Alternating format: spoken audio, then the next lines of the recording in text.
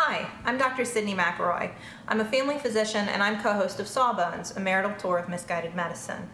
Many of you have probably heard the recent recommendation from the CDC that we should wear some sort of cloth or homemade mask when it is necessary for us to go out in public.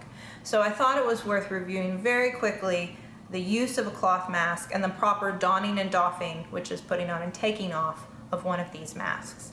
Uh, first of all, it's just very important to note that if you decide to use these masks, it's an added layer of protection on top of practicing appropriate social distancing and continuing with good hand hygiene. We should all be staying in as much as possible and this should only be used if you have to leave the house for some essential task or if you're an essential worker who must go out into the world to help us all. So first of all, before I would put on one of these masks, uh, and this, so that you can see, is a cloth mask that was graciously given to us, made by one of our listeners. Uh, before you put on a cloth mask, you want to make sure that you wash your hands, either with soap and water for 20 seconds, or you can use some sort of hand sanitizer, which I'm just going to pretend so as not to use up. And you completely rub your hands until they're dry when you use it. Now you would pick up your cloth mask by the ear loops, you don't want to touch your mask as much as you don't have to. And you're going to put it on your face. And this is your moment to adjust. If you have a tab here to tighten it over the nose, this one doesn't, but if you do, tighten it over your nose and make sure that it is pulled down underneath your chin and that it's completely covering your face as much as possible, accepting that these are going to have gaps, unlike medical grade masks.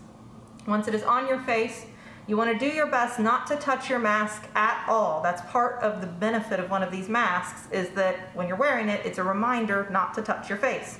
It's also why I wear my hair pulled back a lot more now, is it's one more reason that I might accidentally touch my face.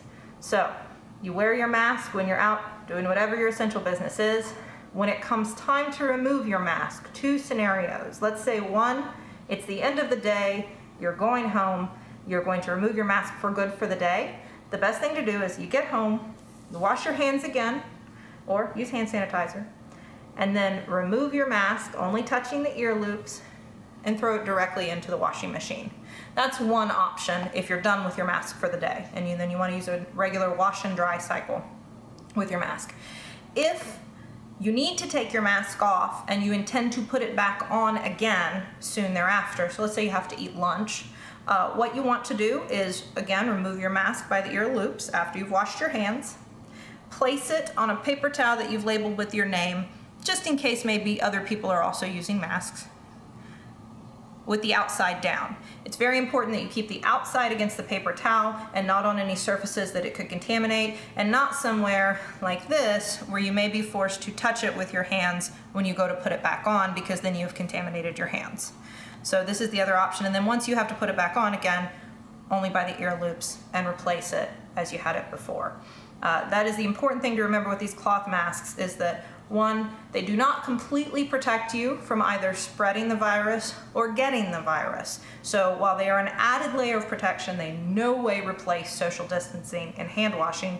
And two, once you've worn them out in the world, you have to consider that outside contaminated and you need to treat it like something that's been contaminated and make sure that it is washed and cared for appropriately so that you don't undo all the good you're doing by wearing the mask in the first place. If you want more information on how to wear these masks, make these masks at home. Uh, CDC.gov has a wonderful section on the use of cloth masks, what they can and can't do, what their limitations are, what their pluses are, and how you can create one of these to use on your own. In the meantime, wash your hands, uh, stay safe.